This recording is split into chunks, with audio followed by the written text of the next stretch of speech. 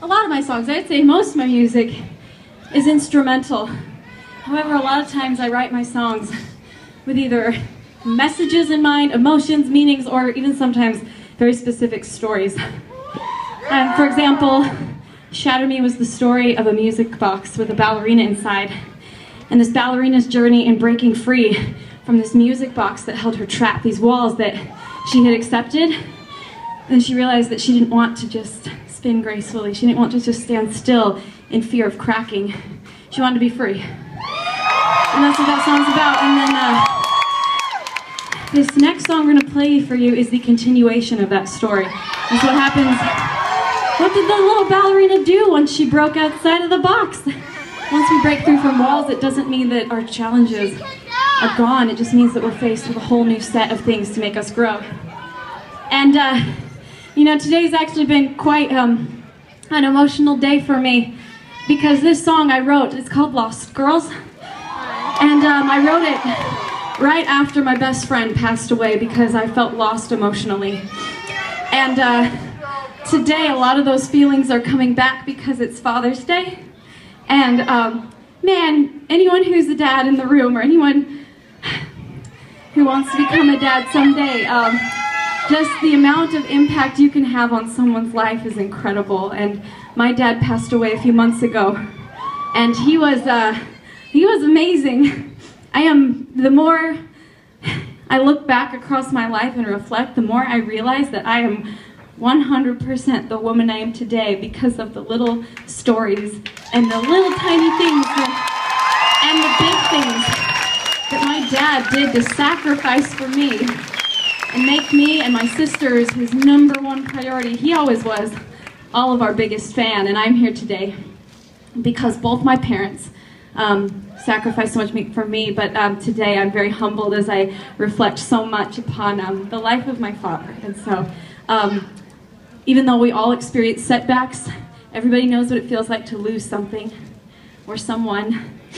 But this song is about continuing on, not going back to being closed off, even though we have to go through hard things. So this is Lost Girls.